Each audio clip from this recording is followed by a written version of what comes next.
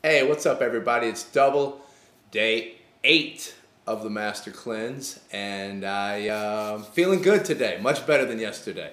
Had the nasty toxins coming out of me yesterday, I think. So uh, definitely, definitely feeling a lot better. You know, the crazy movements. There's things in you that you just, you know, wonder how long those things have been in there and what they are doing. But anyway, enough of that. Things are coming out. Everything's good.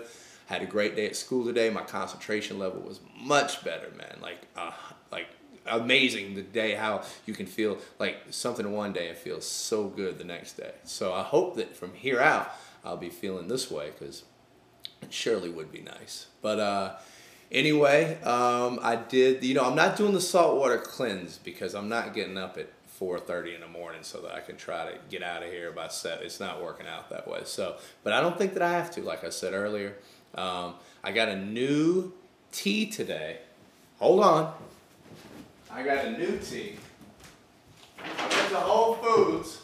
I'm back. I'm coming back. All right, I'm back. I went to Whole Foods. Got my Whole Foods bag here.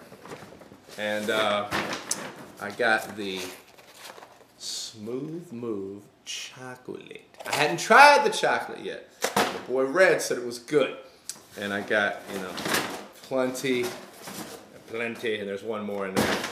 Lemons, and uh, I have enough of everything else to last me for a few more days. Like I said, I'm shooting for 21 days. Yesterday, I would have said, ah, I don't think that's going to happen. But now, yeah, I think I can do it. I'm almost halfway there. That's the way I look at it. I'm on tomorrow's day nine, and then 10, and then 10 and a half, and then I'm right at, you know, I'm at halfway there. Anyway, I'm feeling good. I weigh oof, man, I weigh like a 178 pounds, I think now. So um, that's odd. Definitely skinny boy. So I would like to uh, start working out a little bit when I get off of this. So tomorrow will be day nine, another exciting day. Hope you've uh, been taking care of yourselves out there. And I definitely am uh, starting to feel the uh, spiritual high and the good energy from this. And I'll just hope that it'll uh, continue to go that way, not have to have many more days like yesterday. So everyone have a great night. I will talk to you tomorrow. Peace out.